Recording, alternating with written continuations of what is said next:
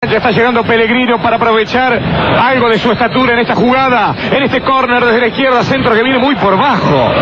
Va para que retenga Moreno y Fabianesi, centro de Higuaín, arriba Esquiavi la saca, quedó por el medio, la busca Bastía, Bastía no llega, Herbiti mete el cuerpo y gana y viene la contra de Boca.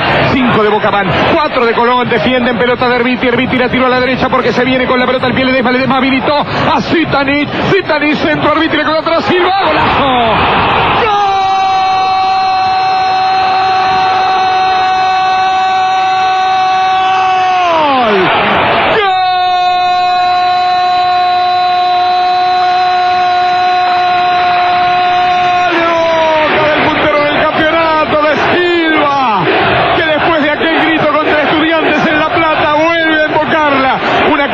perfecta, mérito de Herbiti que la Bastía y la ganó. Eran 5 contra 4, Herbiti la manejó bien, tiró para Ledesma, Ledesma abrió para Zitanich y este entrando al área por la derecha en lugar de sacar un remate cruzado, no pecó de egoísta, sacó un centro picando el balón que de tijera, Silva metió contra el caño derecho a media altura, después fue a una publicidad, se acostó a dormir y se tapó calentito, en una noche fresca, lloviznosa en la boca, Boca solitario, se trepa lo alto del campeonato, Silva bajito desde arriba y va a balconear el domingo en el resto de la duodécima fecha del campeonato.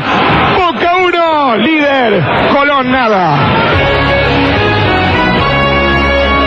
Lo dijo un ex técnico de Boca, Carlos Salvador Vilardo, afirmó muchas veces, córner mal ejecutado es gol en tu propio arco.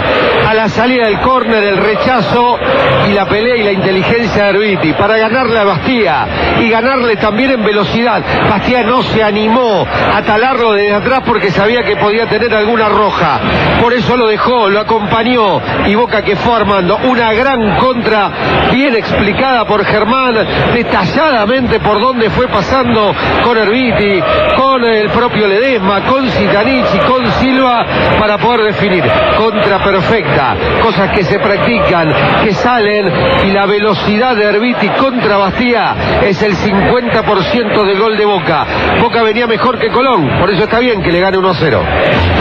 Esto es ESPN Radio en Rivadavia.